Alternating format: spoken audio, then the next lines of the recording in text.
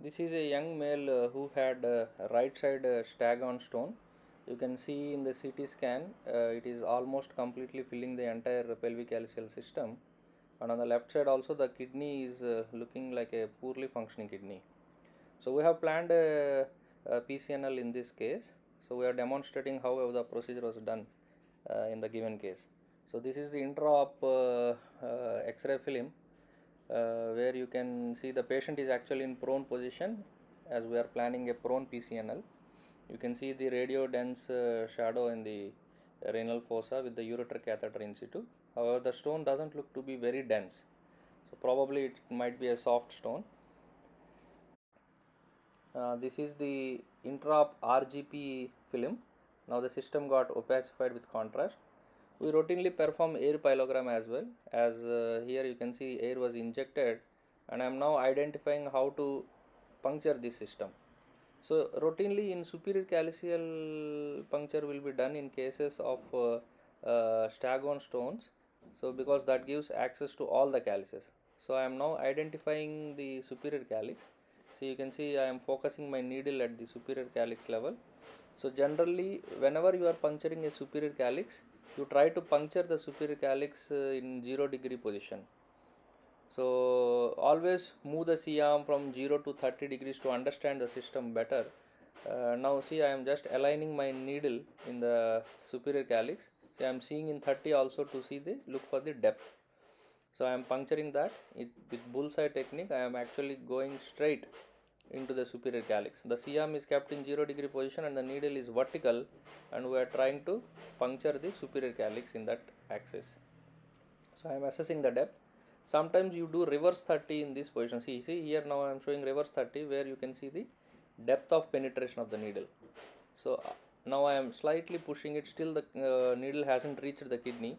Now now you see with this movement the kidney starting getting started movement moved. So that means you have reached the surface of the kidney. Now with sudden jerk I have entered into the PCS. Now see when I am moving the needle you can clearly see the stone also getting moved. Now I am injecting contrast to confirm where I am. See when once I am injecting the contrast the system is getting opacified well. So this is the point where we are going to enter inside the kidney.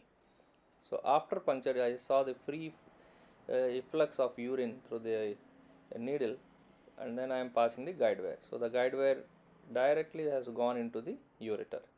So when once the guide wire goes into the ureter, uh, you start dilating the system. We routinely do uh, serial metallic dilatation using the uh, dilator. So this is first the Alken cannula. You see how I am negotiating it. So whenever you are negotiating the Alken's cannula, always see in 0 and 30 degree axis to see whether your needle is going well. So sometimes you get resistance, then you have to align the needle a little bit more vertical and try to negotiate and pass along the guide wire. See, I am now uh, negotiating it actually. And now it has gone into the system. So when once it reaches the system, confirm your needle tip uh, whether it is in the system or not by uh, injecting contrast from below. Now you see the tip of the Alken's cannula is actually in the system. Now I am removing the inner sheath.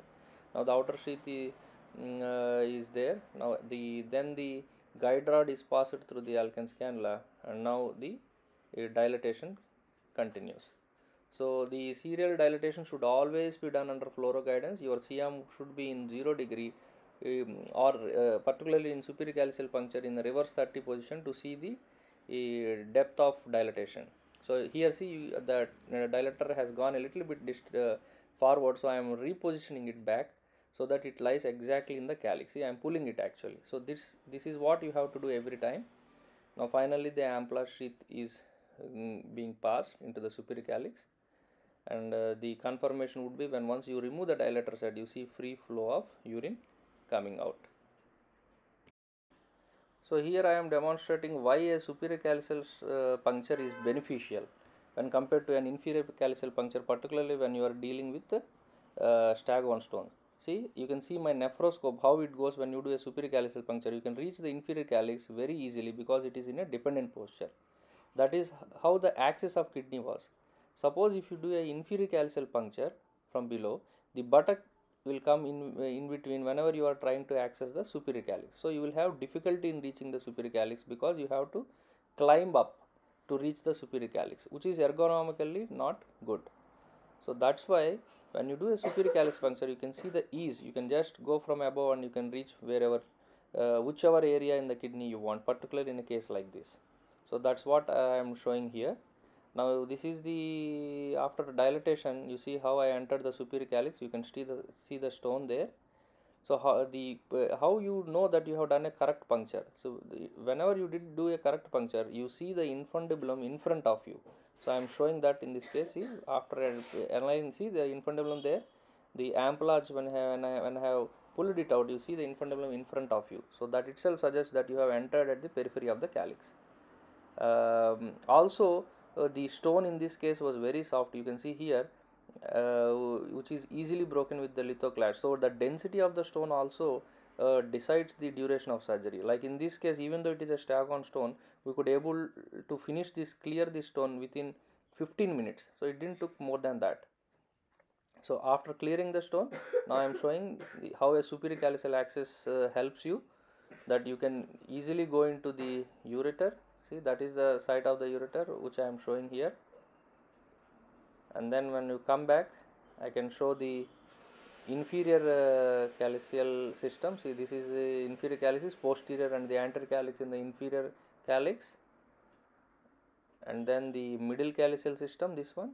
So you see the mid anterior and mid posterior calyx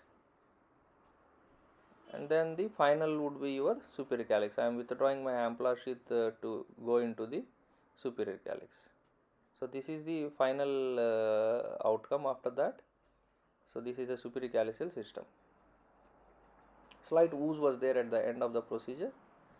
And then uh, this is the fluoroscope image where complete clearance was done. And you can see the nephrostomy being placed in position. Thank you